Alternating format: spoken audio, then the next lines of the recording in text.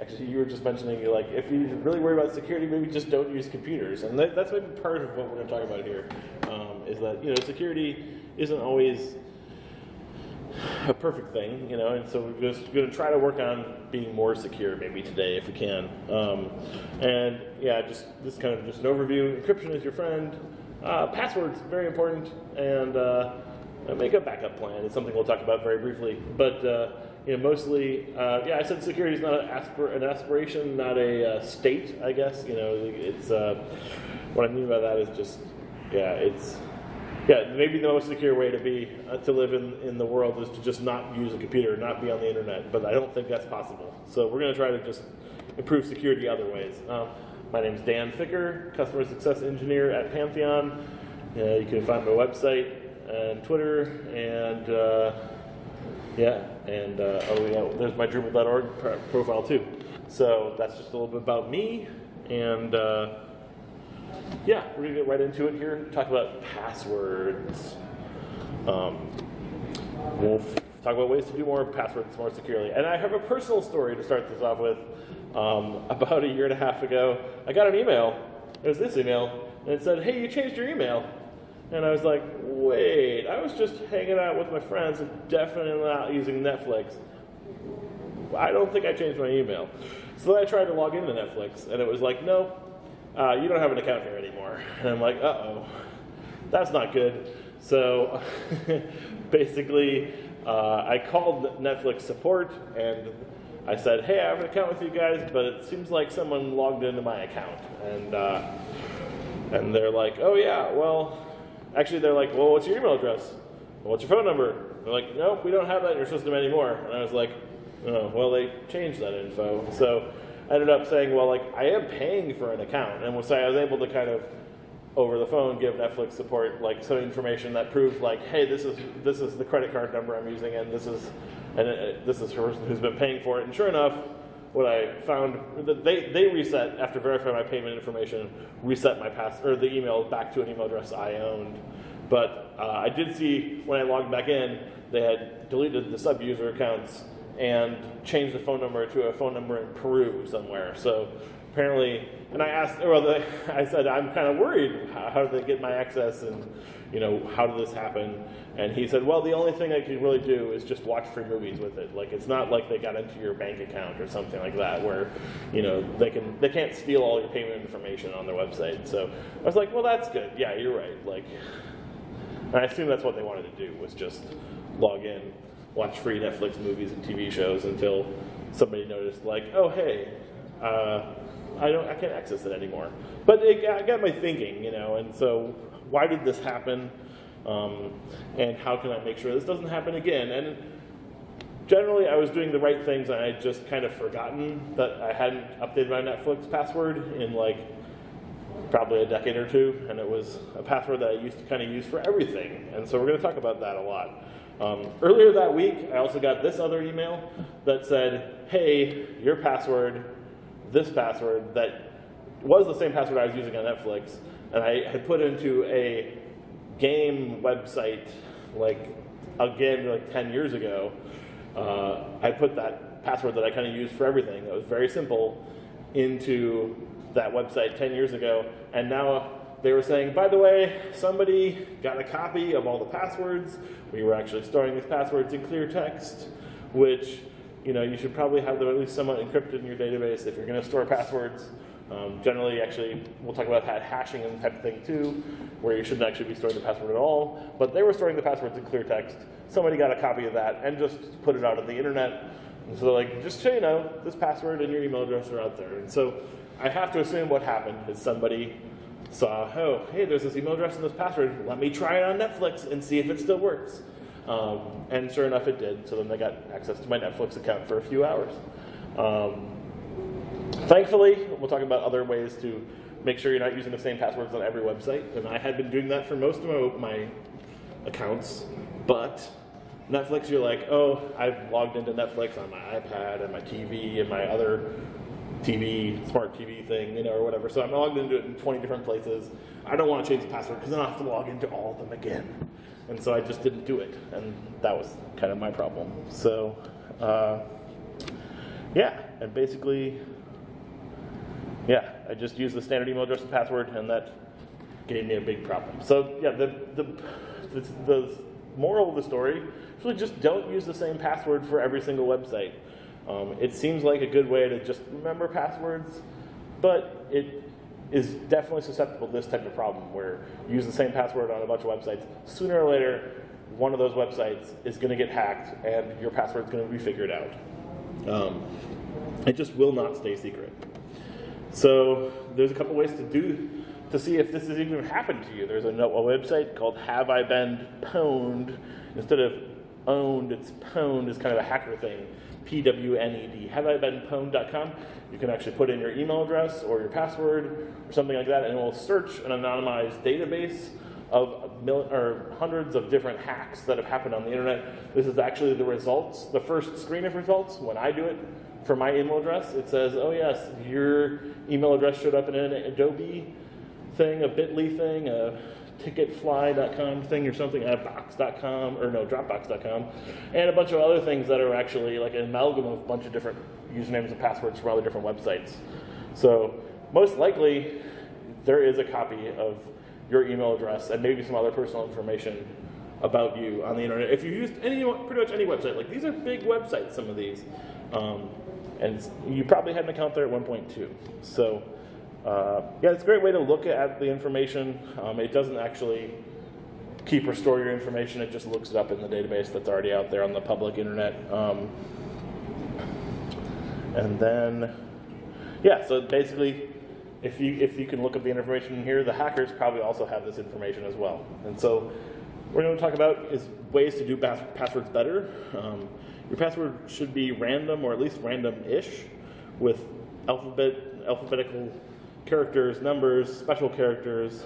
I would say to make sure it's not easily guessable, it should be long, 20 to 30 plus characters, um, and it should be unique for each site, like I mentioned earlier. And the best way to do that is not to try to remember them. You could maybe come up with some sort of algorithm that makes some sort of random looking thing that is based on the site name, but even that could be reverse engineered. So, what I'd recommend actually is you use some sort of system to manage passwords. Um, if you also, according to the National Internet, or the, yeah, the National uh, Standards Body, the NIST, they say their newest guidelines as of 2017 say actually that you should actually use this type of long, really random password and don't actually change them every couple months or every couple, um, you know, 90 days or something. It used to be the kind of the recommendations, but they're saying now, yeah, don't don't make it short, don't make it easy to remember make it really long and random, and have some sort of way to manage passwords. Um, and if you do that, actually, they would say too, you don't need to change it every couple months. Um, we're going to go on a little tangent before we talk about great ways to manage passwords, to also talk about encryption and how that relates to security on the internet as well. Um, by default, most things on the internet are public. That's just kind of how the internet was built. It was built as a way to look up public information. Um, since then, we've done a lot more with the internet than just look up public information. Uh, so encryption is basically using very fancy types of math to say there's no way you can actually figure out what this is unless you actually know this little secret bit of information that was given. So we're going to talk about two different types of, types of encryption. The first one is called one-way encryption or hashing. So if you actually type in password one, a bad password, uh, into the encryption, if you put that into an encryption algorithm, you actually get out this little cipher text, or it's an encrypted version of this text. Um, if you if you try to actually kind of, there's no actually no way to kind of reverse this except for just guessing. So um, with a bad password like password one, it wouldn't be too hard for someone to say, oh, I figured out that they're using this encryption algorithm, and that if I put in password one, I get the same thing. So uh, but you know, the idea is basically, and this is what actually Drupal does, is when you type in the password for the first time, it actually runs this encryption algorithm and then stores this encrypted text in your database as what your password is. Um, and then when you actually log in, it does the same thing again, and it says, run it through this encryption algorithm, and then does it actually match? And so it never actually even stores a plain text copy of your password in the database. It just runs this encryption algorithm when it first saves it, and then when you log in again, and it compares, does they match? And that's, that's a great way to do it because there's no, well, it's, it, it's harder for someone to actually figure out what the password is. They basically have to either try all the encrypted unencrypted things and run the encryption algorithm to see what matches, or they just have to guess, one of the two. Um, trying can take a long time, depending on lots of factors, but um, yeah, process is not reversible. Um, so even if you have this information, it's not very easy to get back to the other one, uh, the unencrypted version. And yeah, commonly used for passwords. Uh, the next one we'll talk about is public key encryption. And so you have two different pieces here, the public key and the private key. Um, it's kind of like a special way of encoding messages so that you have to have one or the other, and otherwise it just looks like very random information. So, so yeah, the private key must be kept secret, and the public key can be given to anybody else. And so you can encrypt or decrypt messages with one or the other. So I can send a message with the private or the public key, and the, only the person with the private key can actually un, unencrypt that information. Uh, I'll have a little diagram here on the next one. So this is where you what you'd want to do generally for kind of keeping data in a way that is is secure. Um, this is kind of this is my diagram. So it's a little complicated, but if you just take the unencrypted data and transfer it across the internet, it's not secure. That's not a good idea. But what you would do instead is um, from the public key, you're saying, hey, I want to talk to this website. First, I'm going to encrypt it with this public key that they've already given me, and then send it across the internet. The only then the actual server that has the corresponding private key can decrypt the information, and then vice versa. When it sends you information back from the server, it can encrypt that information uh, with the private key, and then only a person that has the public key can decrypt it.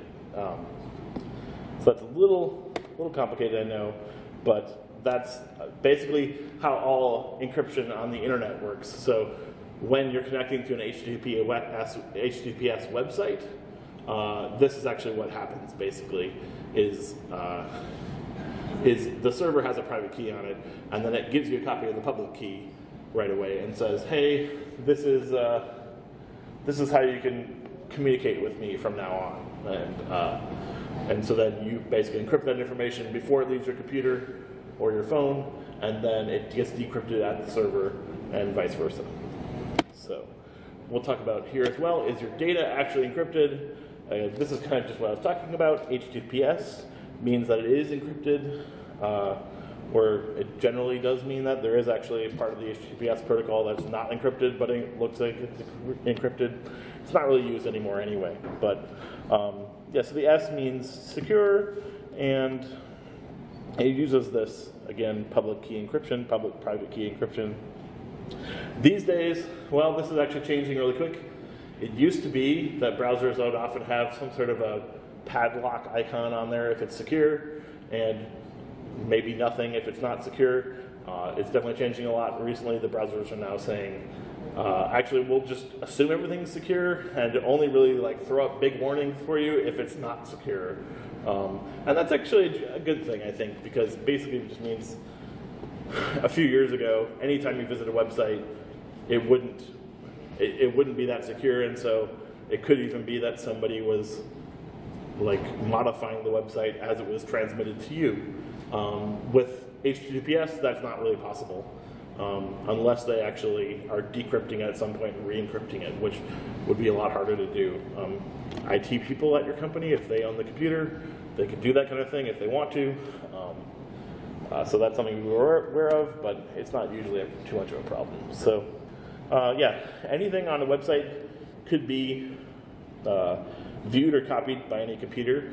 Um, actually, we'll talk about that a second too here about the Wi-Fi here and that type of thing. But uh, any, yeah, any without HTTPS, any router or computer between your computer and the server could actually just say, oh, hey, look, there's a copy of the data going by, and I might just keep a copy just because it sounds like interesting information. So um, that's why we don't recommend using HTTPS. uh, for websites. Um, I'll just yeah make a note here. So if you actually in your iPhone try to connect to the library Wi-Fi, if you look in the details, it actually gives you this message here saying, "Hey, this is an unencrypted, un, un, unencrypted connection, unsecured account." Um, so unsecured network, and basically what that means is anybody in, in this building who's just sitting there watching with a laptop could could actually be looking at and taking down information of at least what website you're visiting. Um, if it's an unencrypted, non-HTTPS website, they could even see all the data that's coming by, what you're submitting and what you're uh, downloading. Um, for, so maybe for some reason, there might be a reason you don't want to actually connect to these types of things. It may be a little bit more secure to actually use your cell phone network if you can. Um, this is maybe not as much of an issue as it was when five year, three or five years ago when all the websites were not using HTTPS. Now most websites are using HTTPS, especially the biggest ones. There was a point, yeah, like five years ago where Facebook and Google weren't even using HTTPS that much, especially Facebook. And so it was pretty easy to be like, oh, hey, look, so this person's visiting Facebook and they have this cookie ID. Let me just, you know, put that cookie ID in my thing too, in my browser too. And now I'm logged in as them. So, you know, that was actually a problem five or six years ago. And that, and, and if you're using a public Wi-Fi, it might be pretty easy for someone to do that. And so now that doesn't happen because HTTPS is being used on more websites. So it might be better than it was to, not as much of an issue that it was to connect to the public Wi-Fi. But maybe if you're worried about security, maybe it's not a good idea to do that either. Um, and yeah, now we're going to talk about password managers. Um, and this is where we get into lots of secure fun. But anyway, uh, the, idea, the couple concepts we have here, password vault is basically some sort of a uh, secure way of encrypting a lot of information about passwords and logins. Um, and then you could even, if you have that done well and securely, you could actually just put that on the internet. And the only way for someone to actually get that is if they have your password or your kind of private key, that type of information. So uh, these are a bunch of different password manager programs that I highly recommend. Um, LastPass is the one that I use. Um, it's to some extent free. I pay, was it, 20 bucks a year or something like that to to use their premium features. I guess there's a few premium features, um, and there's also 1Password is another solution. Uh, if you have all Apple devices, Apple's iCloud Keychain basically does this for you as well. Um, and KeePass is an open source solution if you want to provide your own cloud and your own uh, software. I mean, you, you can use the KeePass software and maybe just put it in a Dropbox account or something like that, um, or some sort of little cloud storage system that you've set up. Um, so those are those are those are the solutions that you can use for password managers. And here's some of the features that they have. Um, both LastPass and 1Password basically have integration software for almost every operating system and almost every browser. So on all my computers at home and at work, I actually have the LastPass plugin and the LastPass desktop application, so I can kind of look through all my passwords in Firefox, Chrome, any of the other browsers. It actually, when I go to a website that I've been to before, it actually just fills in the password and I can just hit submit. Um, on new sites, it actually pops in a little box saying, oh, you're signing up for a new account, here's just a random character, 38 character password, and we'll just keep a copy of it as soon as you hit save. So it, it makes it very easy, at least on your desktop machine, to, uh, to, to generate new passwords, save passwords, even change the passwords from time to time, um, and give you a UI to kind of just look up, like, what is the password here, and copy it to your clipboard, or do that type of thing as well. Um, yeah, it saves your logins. Uh, yeah, and most of these have a very good ecosystem of apps for your phone. Um, actually, on on the latest couple of versions of iOS, iPhone and iPad, there's actually a built-in uh, integration with the browsers on those those machines or those things, and and actually apps. So even when you log into an app, or the app has a little login screen, there's a little button there that says, hey, open the LastPass application and fill in the password for this app or for this website, um, which makes it even easier. Before that, you had to kind of log in or like open up the LastPass app and copy out your password and paste it in. But you don't even have to do that anymore on your on your phones. Um, let's see, notes area. Oh yeah, so that's another thing I use.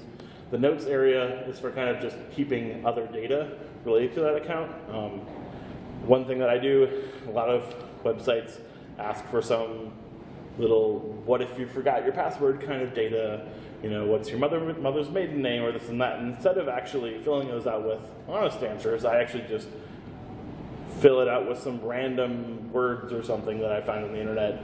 And that way I, and then i save a copy of that within the lastpass application right there with my password. So you know right under the password there's a notes section and I just say, you know, what's your mother's maiden name or what's their first pet's name, and then just put something silly in there. Usually, actually, I keep it to like two or three random words because then if I actually have to call the company and they want to actually verify this information over the phone, I can at least give them something that's not a 80 character random password or something just that would be really hard to, to read to them. But you know, I can give them four random words I pulled out of a dictionary.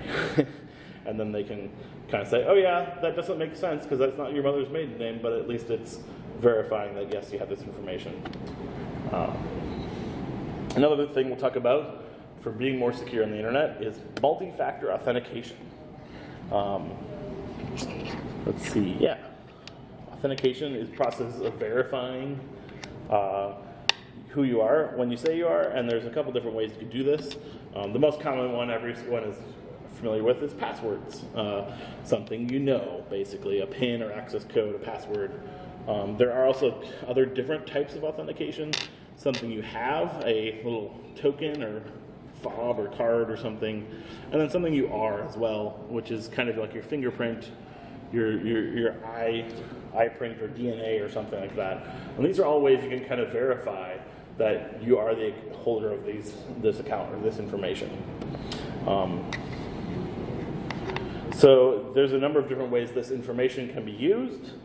Um, sometimes you will see multi-factor authentication used to just kind of make it easier to use a, another one. So instead of actually like a temporary replacement, instead of actually requiring you to type in a password on my phone, I now have a 12 character password as my main password. But I also have you know, the Touch ID or Face ID on my iPhone, which makes it easier to.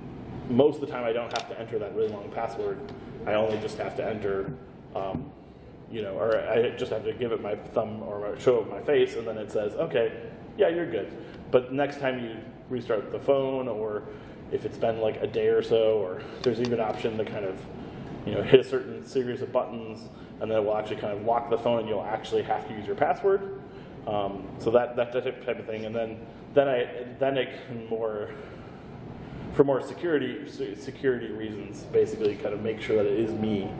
Um, yeah, and actually, one of the reasons it does that is like in the U.S., you can be kind of compelled to give, you know, your fingerprint or your to show show your face and that type of thing, and so uh, while you while you cannot actually be compelled to like give give over your password at least in the U.S. legally at this point. Um, so that might be a reason why to not use these if you're really worried about security. But um, another thing that happens sometimes too uh, is you can use more than one of these factors to actually double verify basically that you are who you say you are. Like I do have one main password that I remember to get into my LastPass account.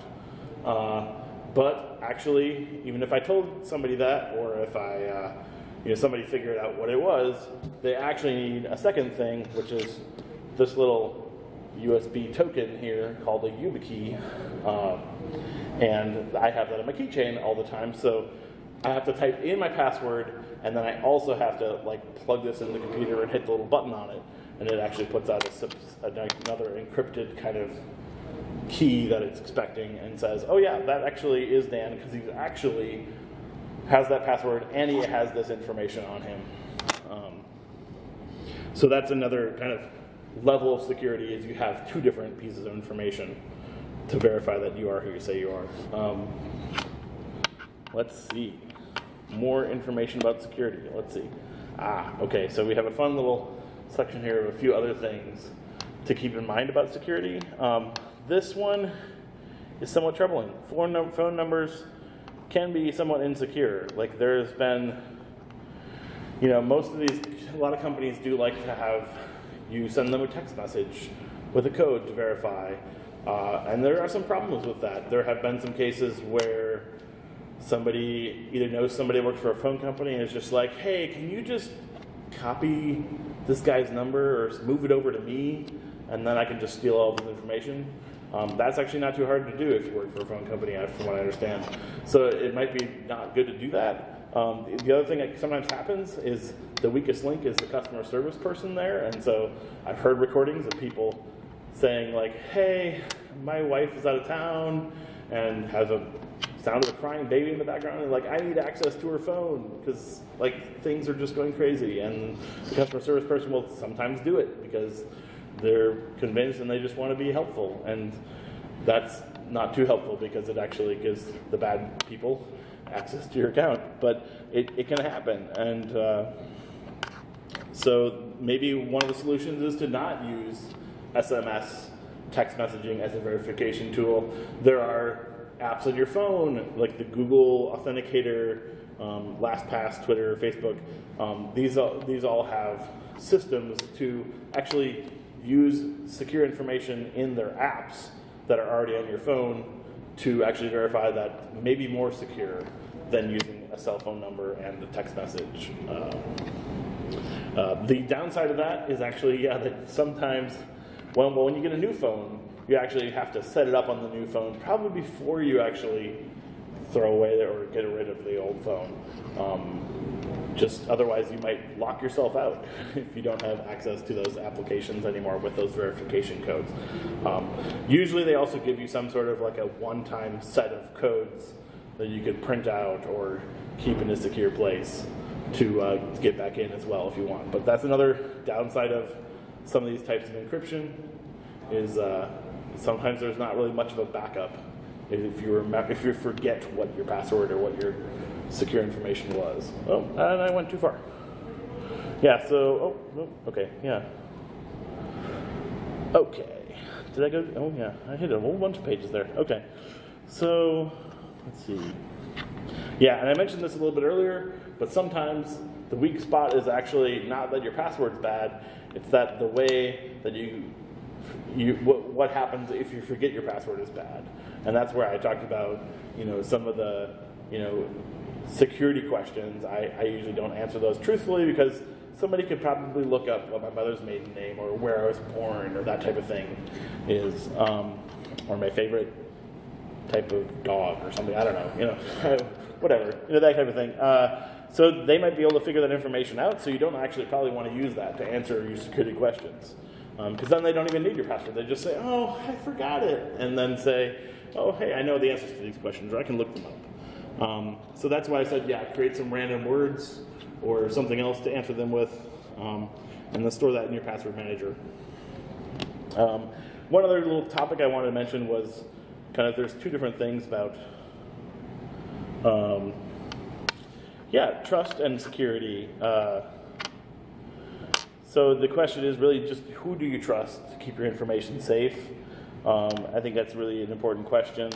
Um, and in, to some extent you don't have to let's see if it, like the way that security and encryption type things work is actually you don't really need to like in some ways you might be able to say that you don't need to actually trust a company like LastPass or 1Password with your data because and I think this is true with both LastPass and 1Password is they've they've made things such that they have they just keep this file for you up on the internet that is your password information and whenever you say hey I'm Dan I'm looking for this information it'll download a copy to your computer or to your phone and then only then does it get unencrypted into your computer or your phone. There's actually no way for LastPass or 1Password to actually look at this information unless you actually have your email address, your password, and actually I think 1Password even has like kind of an extra security key you have to give them when you when you log in. Um, and so basically, yeah, they have this kind of encrypted piece of information. They don't even know what's in there, and when you actually load it in your application, is only when you get access to it. So to some extent, you don't even have to trust that they will keep your data secure um, because they've built it in a way. And third-party people have kind of verified this that like yes, they are encrypting it well and they are doing it in a way. And then, although you still have to somewhat trust them that like they're not going to change this next week when they ask you to re-enter your password for some reason. So there, there's a certain question, yeah, of like what is security and who do you trust to keep your information secure. Um, so you, to some extent, you do have to trust your internet service provider, your telephone company, and your any cloud services providers that they actually do have your best interest, uh, or that you at least pay them to to be trustworthy or something like that. Uh, and that should be something you at least kind of think about, I guess. You know, just is that something I can live with, or should maybe I be doing this some other way that um, it's with a company that I do trust. Um, and usually that's what I was talking about just a minute ago. The idea of trusting no one is maybe the idea that uh, your information is actually encrypted in such a way that no one is actually else be able to get them, even the providers that you actually are using. Um, so yeah. Uh, let's see. Yeah. So the the like I said, there's kind of a, little bit of an upside and downside of that. Is you control your own destiny and security. Uh, some of that uh, power comes responsibility as well. You have to make sure you keep this secure information safe and and that you maintain access to it. That you don't forget how to access it or uh, um, run out of ways to access it. So, and then I mentioned I, I talk about this as well. I'm looking like I'm flying through this pretty well, but uh, basically, uh, it's also a good idea to make sure you have backups of this information. If you're using something like LastPass or 1Password, it is on your phone, on your computer. You can actually access it in offline mode where it would later sync up to the internet, but it's also in the cloud on the internet. Um, but generally, in just all your information, it's a good idea to make sure you have a backup, and maybe not just have a backup in one spot, have two backup in two or three spots, um, just to make sure your information is secure. Uh, um, put it in it. Yeah, you could. Yeah, if you have some of these password like uh, retrieval things that are really important, uh, ways to get back into your account. Um, maybe even print it out, put it in a safe deposit box. That would be a secure place to put it. Um, where, I mean, assuming you trust your bank, you know that type of thing. But um, a good place to kind of keep that information away from anyone who would want to do something bad. So I think that's mostly what I've got. I just on the website at the DrupalCorn, you can actually find all these slides if you're looking for some more information. And I would love to answer any questions people have about internet security, personal internet security. I, I just didn't really go into uh, being secure as a web developer and kind of how your company should be set up in security, because that's a whole other question, I think, that uh, you maybe want to have some sort of uh, yeah, I mean, that's a business question, I think. I just mostly wanted to talk about using it for your own personal use. Um, and actually, I do have, this is a YubiKey, is what I was talking about, this kind of two-factor authentication system. This is an old one that I'm not using anymore, so if somebody really wants one for free, I can give it away for you. I have another one on my keychain, so um, if somebody wants that, um, yeah, you can just come up here and take it, I guess. But um, does anybody have any good questions? Any any questions at all, actually? So. So, if you found that your email was on that list that you provided, mm-hmm. like it, it's out.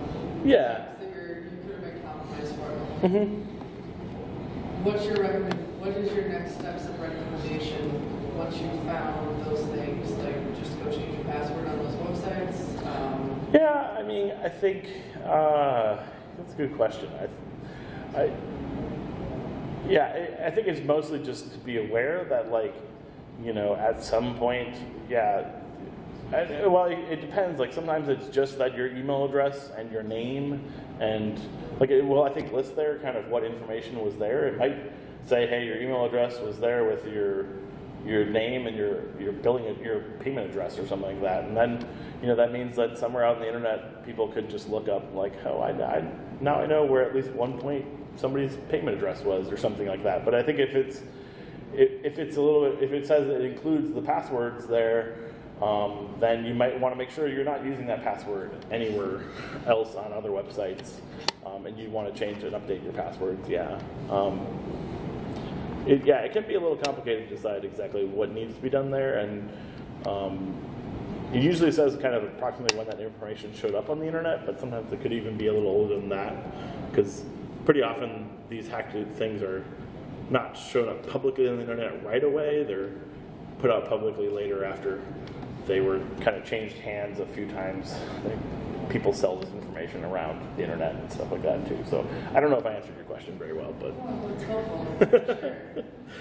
but Yeah. yeah, it's a yeah. I think in general the uh, my recommendation is just to start using kind of these password managers and kind of a random password on every website if you can. And it's not an overnight process, I don't think, to do that, but um, you know, it's something you can at least try to start using uh, if you're not already. So, um, anybody else? Yeah. Um, Are you using any uh, personal VPN system? And You know- so, How how would you go about, like, choosing? That's a good question. I haven't really been using too much any, any sort of VPN system. Um, for the most part, to some extent, I'm kind of like, and that's where I, I was talking about just kind of security is kind of a spectrum. Like, I don't feel like I'm that much of a target that like, you know, I want to use a VPN when I'm here at the conference or you know in a coffee shop somewhere. Um, if- in, in some cases, I might just not use the public Wi-Fi and just use my cell phone network if that works pretty well. Um, but yeah, I think there's there's a lot of VPN solutions out there, and that's a good question about which one you want to trust. And I, I don't have a good answer, I think, on that. I think it. Um, a lot of VPN providers will say stuff like, you know, hey, we don't actually keep logs of who's logging in and you know what what you're visiting and stuff like that, and that could be helpful. Um, and, and just helping make sure that you understand that you feel like secure. Um, I, yeah, I don't know.